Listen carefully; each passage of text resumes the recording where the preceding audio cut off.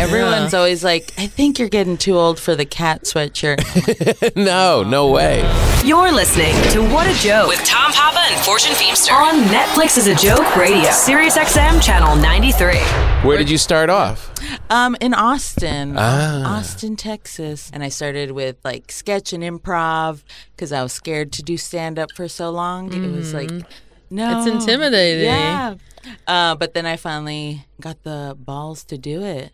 That's so great. yeah. Did you have the same thing? Is that why you went to sketch first? Ah, I started Improv? improv first and then sketch. It's more of just like it seems improv seems more accessible. right. Yeah. It's like, uh, hey, come j- join our, these fun friends. Right, We're all right. just making some funnies together. Whereas stand up, you you know, they're just like, our job's hard. Yeah. You want to do this? Yeah, yeah. And uh, it seems a little more. You have to prepare. Yeah, you have to write things. Improv, they're just like, you guys are all cats. Yeah. And you're like, oh, meow. so good. I'm always like, I'm the cat that doesn't want to be a cat.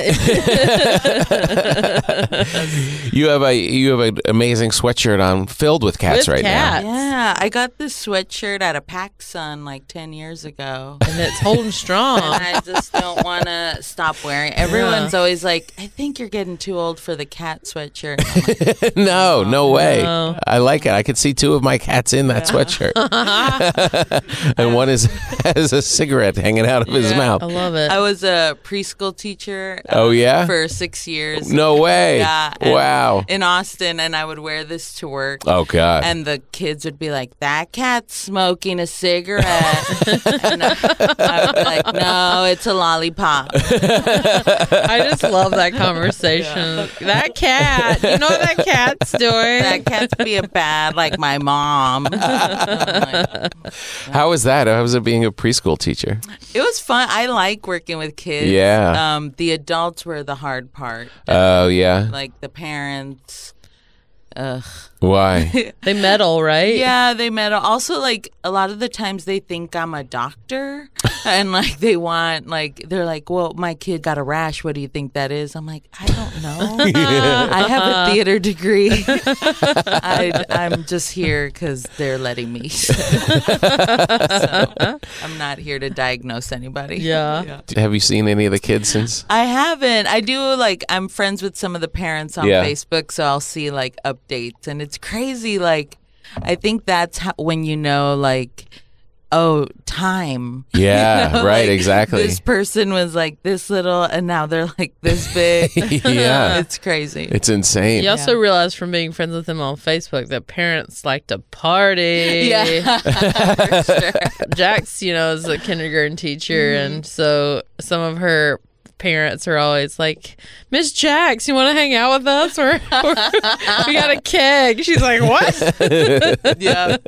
Oh yeah. I mean, it's funny because like the kids would tell me everything. Like, and what I remember one kid was like, "My mom loves vodka," and I was like, "Me too."